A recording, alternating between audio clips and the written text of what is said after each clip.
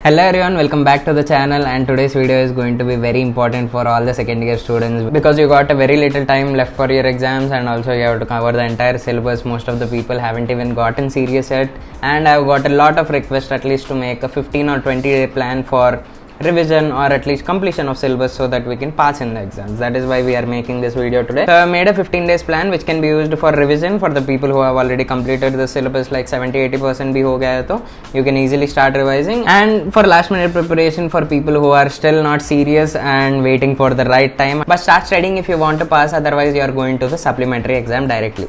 So these 15 days will not be easy. Completing three subjects in 15 days is like pretty much impossible but in the hope of people trying at least.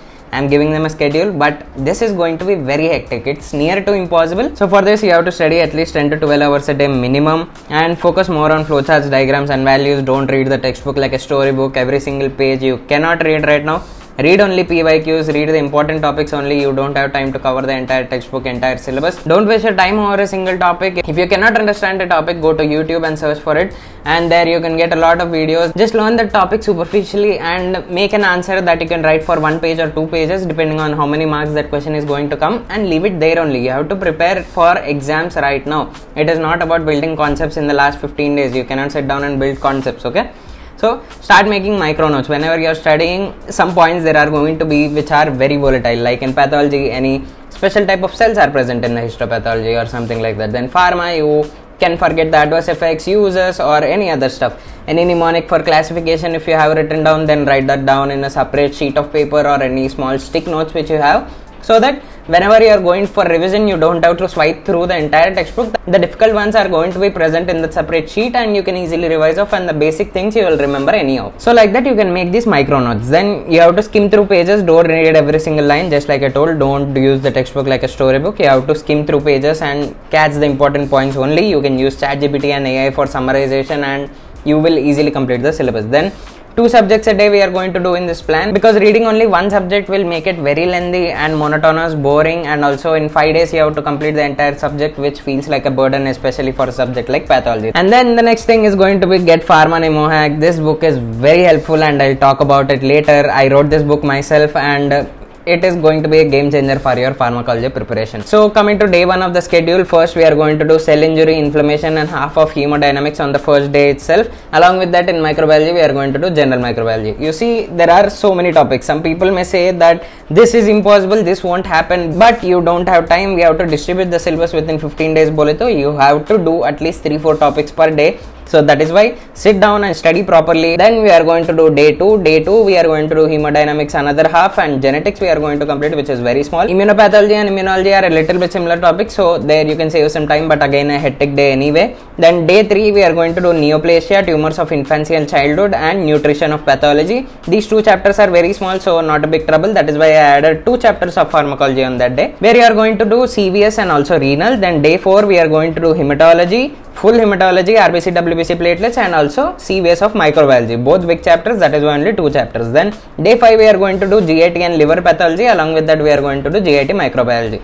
Then day 6 we will do renal and lung pathology and along with that hepatobiliary microbiology. This is a very small topic. So that is why I gave two big topics of pathology in one day. Then day 7 we are going to do GIT and anticoagulants and along with that respiratory microbiology. Respiratory is a very big topic so GIT is small and anticoagulants is also small. You can do them off in like 9 to 12 or 9 to 1 in the morning and then the entire day you can spend for respiratory okay? So before going to the next week let's discuss about pharma Hack. i wrote this pdf myself and i know as a senior what are the difficulties you face in pharmacology. There are a lot of classifications which we cannot remember. There are adverse effects uses mode of actions which we cannot remember. And making mnemonics for such things would be very helpful and that is why i have covered 93 topics which you can see here in the index here 30 topics in the first page 60 topics in the next page and then 93 topics by the end so 93 important topics of pharmacology has been covered in this PDF and there are 100 plus mnemonics in every single topic you are going to get a mnemonic for you to remember the classification, adverse effects, uses, whatever are there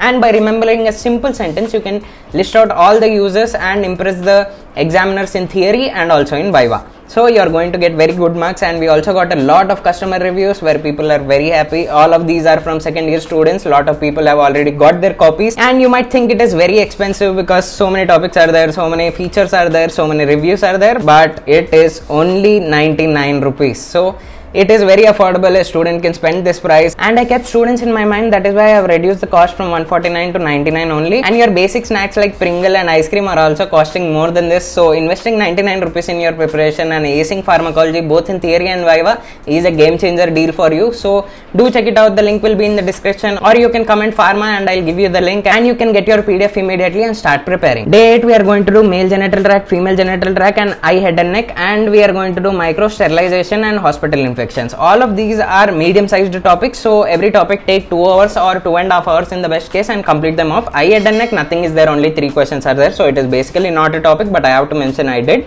so day 9 we are going to do chemotherapy. Chemotherapy is the most important topic. So I gave you a specific day for it. Sit down and read it properly. That is only going to help you get good marks in pharmacology and there are a lot of classifications and lot of uses of every single drug which is very important and all of that are covered in Pharma Mnemoac. Every single drug uses and important classifications of penicillins, antitubercular drugs, cephalosporins. All of that will be made easy with just one two line mnemonics which you can easily remember in the exam. Then day 10 we are going to do CNS, bone and skin. Again small topics, medium size. Skin and soft tissue infections is a little bit big topic. Again morning evening shifts you can do and finish off the syllabus. Then 11th day we are going to do infectious diseases and CVS in pathology and CNS zoonotic diseases and miscellaneous. These are all again medium sized topics so you can complete off in one day. Then day 12 we are going to do breast and endocrine along with endocrine drugs and we are completing day 12. Then day 13 we are going to do CNS drugs along with miscellaneous drugs. Again CNS is a very big topic that is why I gave a specific day. Day 14 we are going to do general and ANS. ANS is a pretty big topic but genitourinary is a medium topic so you can complete off that also. Then in the day 15 we are going to do autocoids asthma and anti-cancer drugs. If you do this, your entire syllabus is completed in 15 days. I know it seems a little bit impossible, but if you sit down, it is actually possible, if you, even if you are starting from scratch also. And I hope you get very good marks and pass with flying colors in second year MBBS. And I will be here to guide you even in third year MBBS. Go check out the link in description for Pharma Mnemoac and I'll see you in the next video. Until then, bye bye.